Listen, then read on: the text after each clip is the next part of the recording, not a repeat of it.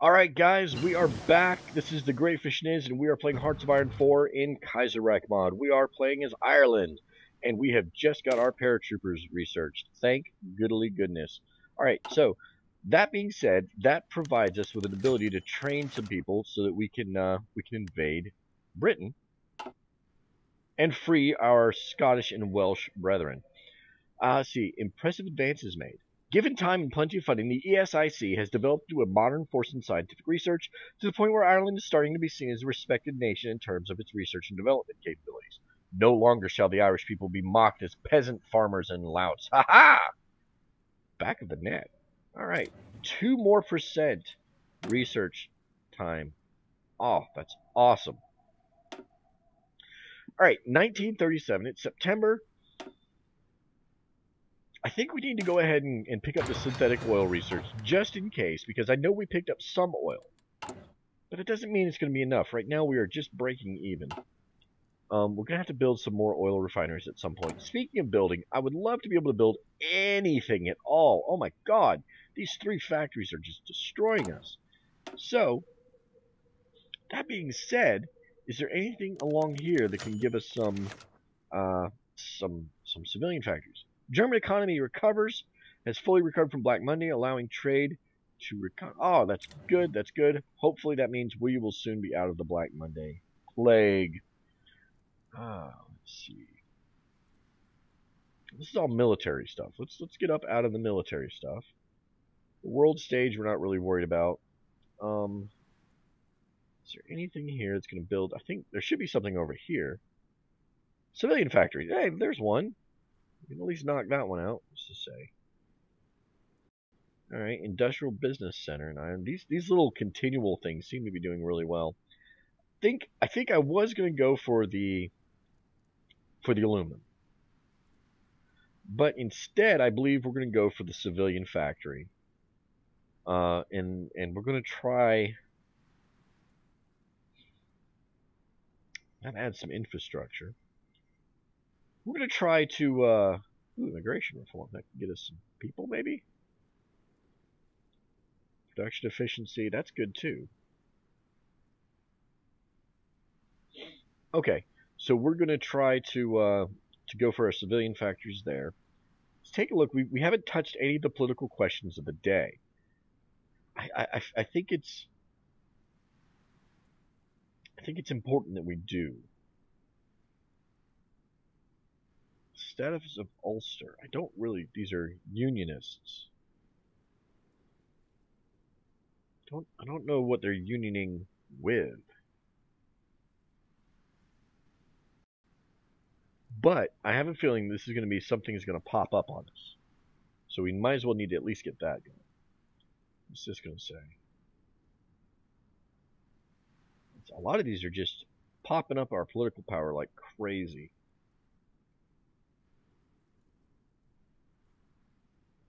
Of some national unity, that's good.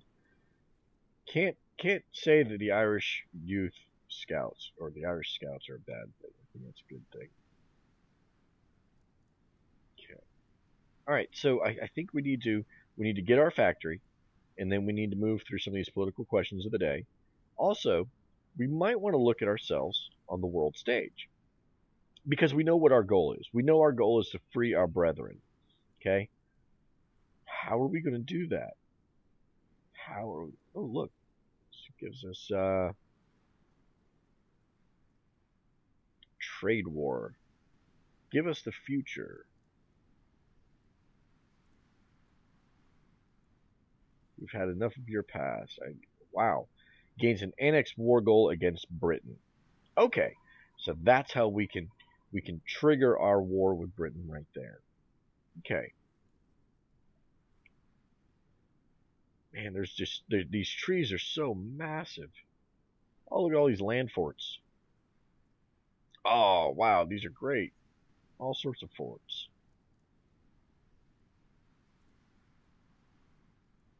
Okay.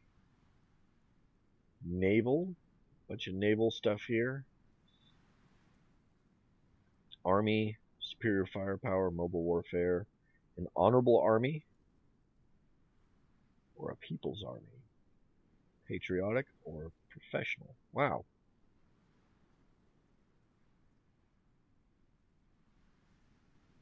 Okay, so these are. Hmm. All right, heavy industrial focus has been done.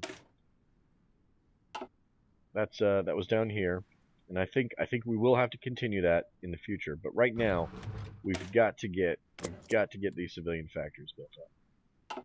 Okay. So we are still short on our aluminum. We're one short on steel. Hmm. Let's see, where's our resource map? We've got some steel. If we do pick up that 10% bonus on our efficiency, we may be able to pick up a couple more because uh, we're picking up 19 right now. That would be 1.9.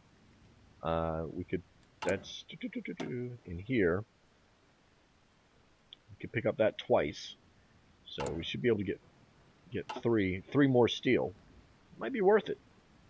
I was questioning it before. I don't I don't remember if that was this episode or the previous episode. Wow, we're up to seven, 70. Some of our guys have recruited out. That's awesome.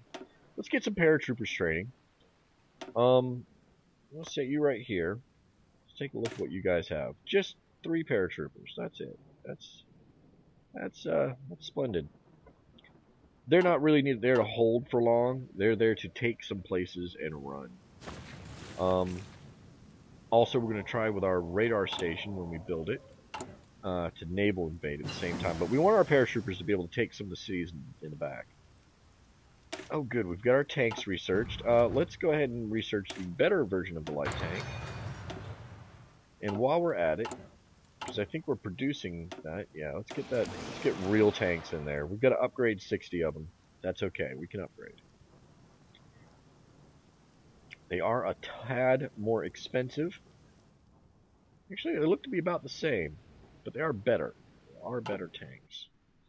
Now, is there anywhere that's having a civil war that we can help out by get some army experience. Can we send volunteers? No, you need to have at least 15 divisions to send volunteer forces, and we currently have seven. So that's not going to do us a whole lot of good. Let's see. Transport planes, we haven't built one yet. God bless it, they take forever. We need to get some more military factories so we can build up fighters also. Kind of want to build at least one of these before we do that. Our ideology has grown. It Costs us 25 political power, but gives us an additional 3% in our ideology, which is good because right now we are just now hitting 52%. We want that to be as strong as possible. Keeps our popularity. We're at modern right now. If we go up to high, gives us more political power. Very high does also.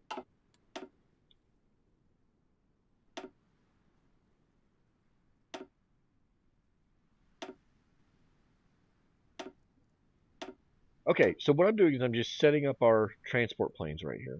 Let's move them up here, actually. So that we can see what kind of range they have. We're going to do normal operations. They're transport planes. Come on. Guess they don't want to move there. That's fine. So their range is essentially all of England. So we're good to go. We'll be able to drop anywhere we want anywhere we want indeed. Now, I happen to know Canada. Look at this homecoming planning. They're not talking about a school dance. Where's that one at? Good God, these things are massive. These guys are going to start getting ready to invade Britain. Once they do, we need to be ready means we're also going to have to set our other national focuses. So we've got to get that. We've got to get that extra factory. The uh, the dealing with our enemies. Give us the future, and then we'll be ready as soon as we are to because that's only a 21 day completion time. So as soon as Canada declares war in their whole union, we can also declare war.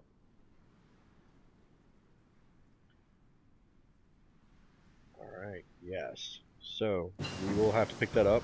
Oh good, we got our synthetic oil. Let's go ahead and pick up our excavation. We'll pick up that number one and number two, because apparently it is going to help us out. All right, 1937. Like every election since 1921, even the elections are marred by perpetual mani- manipulations from the ruling Fine Gael party, Turlists, whatever that is, and the leader of our nation, Michael Collins, who, dis- who despite its high popularity among his citizens, wants to remain in power at any cost. They can win by manipulation, or the Democratic opposition wins by manipulation, despite manipulation. Hmm. Hmm. I like. Um. Well, let's see. What are we? We are the authoritarian Democrats. I kind of want us to do that. And this is going to give us Eoin O'Duffy.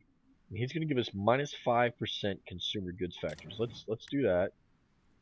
And I think he's down here. There he is. Yeah. He's head of government. High popularity. Nice. All right, so this is going to give us a daily political power gain of 0.25 per day. Ah, the Ottomans. The Ottomans are attacking Armenia. Where the hell's Armenia?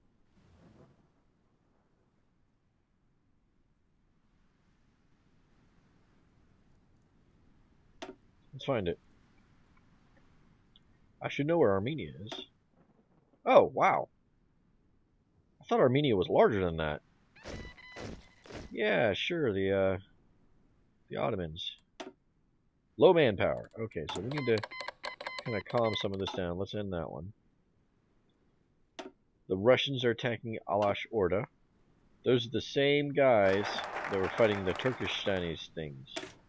Alright, so we've got our industry for Ireland, but we do not have our factory. Alright, pause for a second. Let's get our factory. More wars. The IFI initiative. The government excuse me, have ordered that the extensive funds be made available for the rapid industrialization of our nation. Too many Irish men and women are without jobs. Many British owned factories were closed down when Ireland gained their independence, and have since fallen into disrepair. Ireland's industry lacks any real focus or direction. Despite the population being eager and ready to work, it's up to the government to decide just how much of an investment in the civilian industry they wish to make. Listen, we've learned from this. Always do the major, major, major amount. And you know what? This one's only going to cost us 25 political power. We have 134. Good. Because so far, the EIS or ESIC thing has done a huge bonus to us. Look at that, 6% research time. Black Monday is still kicking our butts. We're going to figure out how to get out of that.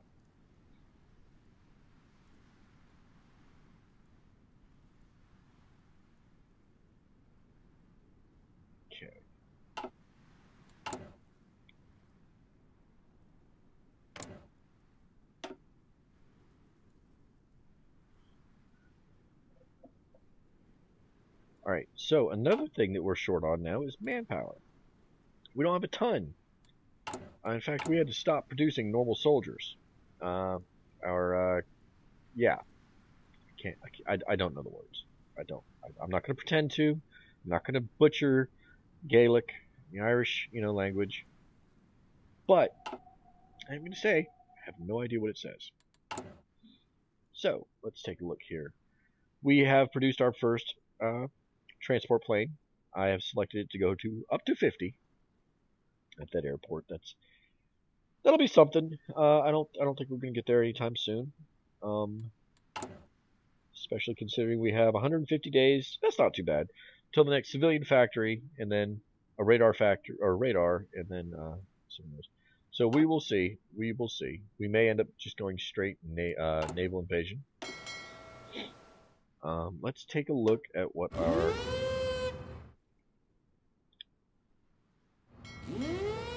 Where'd you go, guys?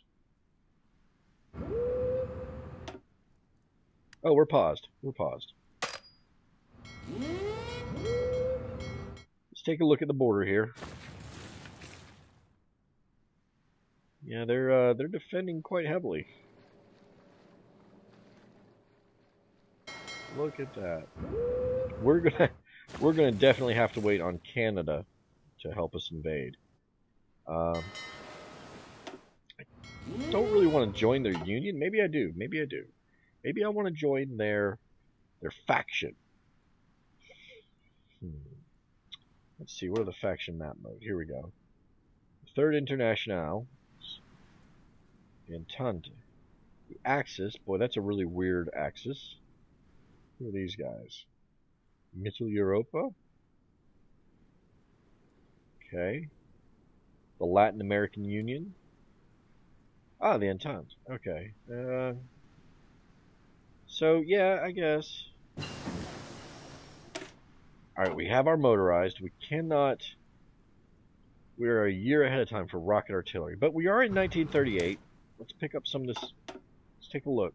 Okay, we're good there. Pick up our research time bonus right here. Because right now we've got 18%. That's fantastic. The faster we research, the better. Oh, okay, so the Great Khanate. That's why they're attacking. I think uh, joining Entente, Entente, Entente, there we go, may be beneficial to us. Maybe.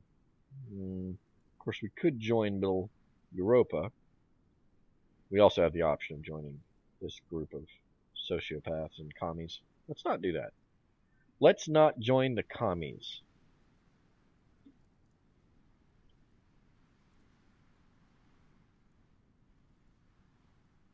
Wonder if they defended that island. What's this? Denmark control zone. What are the Danes doing? Hmm. They don't seem to be in a faction. Wonder if we could create our own faction. Fourth Balkan War, we knew that. We knew it was happening. It's everybody against Bulgaria over there. We're not terribly worried about it. Okay, 1938. We could up our radar station to level 2. I don't think we're going to need to do that. Maybe we will. Let's let's pick up the infantry equipment.